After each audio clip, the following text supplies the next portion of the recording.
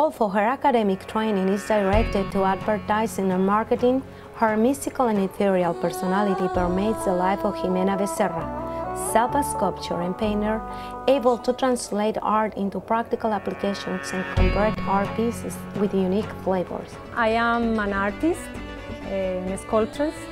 I am a pastry chef and I study at the Real de Cordon Bleu in Orlando. It's a French academy.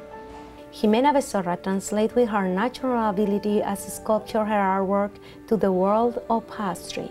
I design a costume and it's a love story for a couple that are going to get married.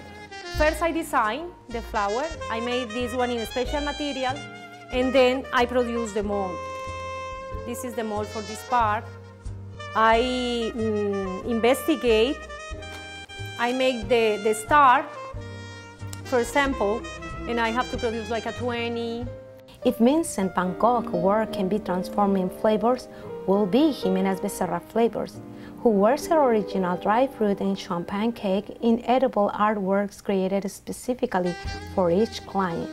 I made this one that is high and I make the mold.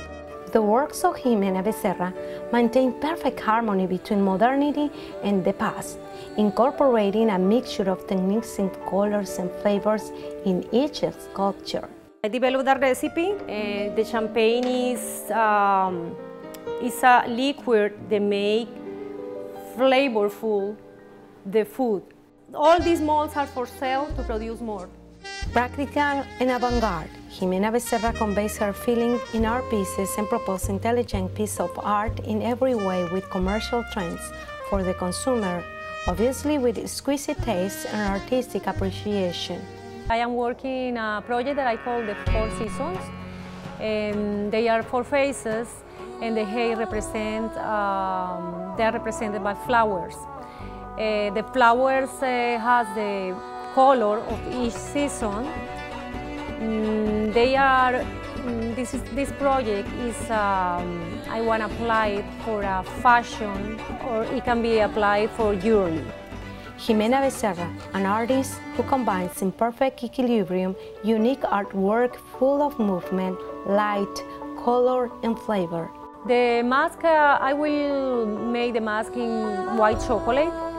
Uh, I want to use white chocolate because uh, the, that will be more colorful. Uh, the colors uh, that I am going to use are soft, so you can perceive more the colors in a white chocolate.